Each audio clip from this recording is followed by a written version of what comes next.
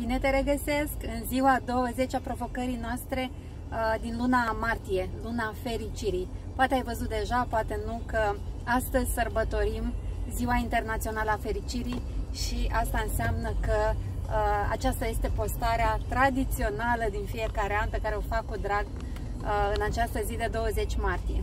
Este ziua 20 din provocarea noastră și pentru că este ziua internațională a fericirii, ce te încurajez este să faci ceea ce te face fericit.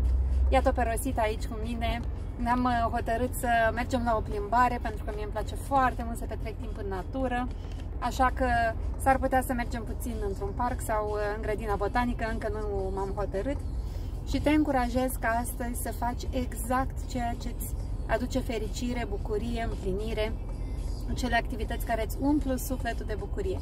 N-am să-ți spun eu ce anume să faci astăzi, n-am să-ți fac sugestii, dar aduți aminte, dacă îți place să dansezi, să cânți, să pictezi, să citești, să faci meditație, să te plimbi, să vorbești cu prietenii, să gătești și așa mai departe.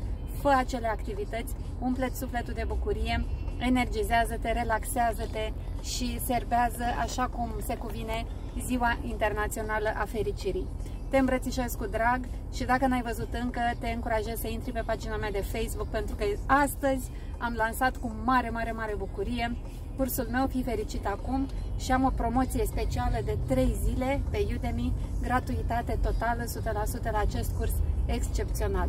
Așa că te aștept pe Udemy, te aștept pe pagina mea de Facebook, te aștept pe canalul de YouTube și aduți aminte, fii fericit acum și desigur în fiecare zi. Ne vedem mâine, numai bine, weekend minunat să ai!